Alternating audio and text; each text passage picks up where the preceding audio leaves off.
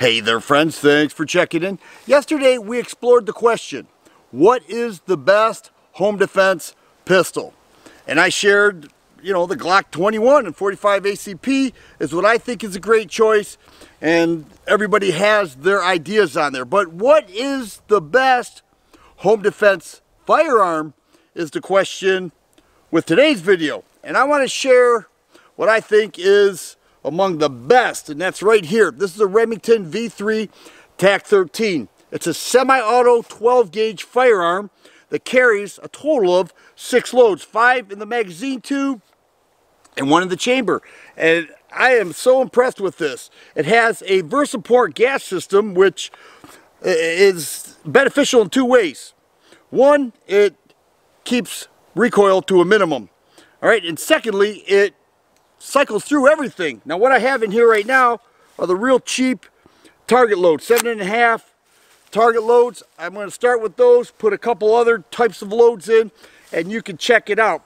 It's got a front strap here that's important. When I use that front strap, I kind of push forward and pull back on the bird's head grip, and I feel complete control of this firearm. Does have a cross bolt safety that is currently engaged and a 13 inch vent rib barrel with a bead front sight barrel clamp on the magazine tube. But I love this thing. Now, if your flavor is pump action, you know, Remington makes the TAC-14, Mossberg makes the Shockwave, uh, others, you know, are out there. I know Charles Daly makes the triple threat honcho. All those are great choices. I just like this. I just think it is uh, an outstanding choice. But let's check out those target loads. They're cheap. We know that.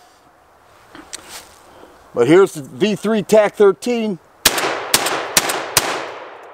And I did put four loads in there.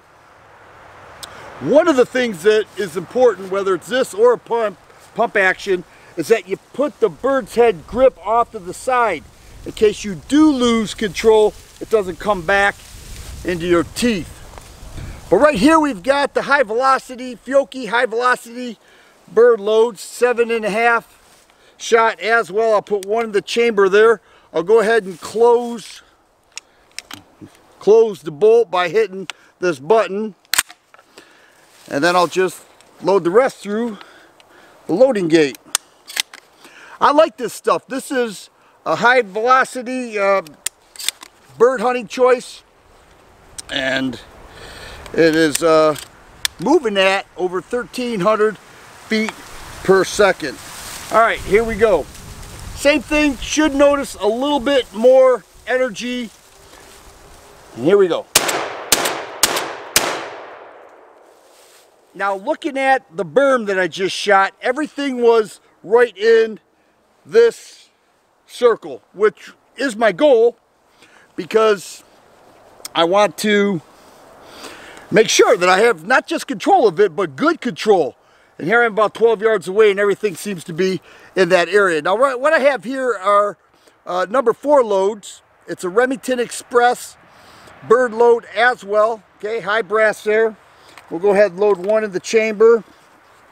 Also will engage the cross bolt safety, drop the bolt, and put three more in. Sometimes they get tight loading, but not, not too bad for the most part. But this thing has fed everything that I've ever ran through it since day one. And that's why I think it's such a fine firearm. Now it's more expensive than the pump action ones. It's more expensive for sure, but I really like it. I, I, just think this is great. You can shoot from the hip, you can shoot the arms extended.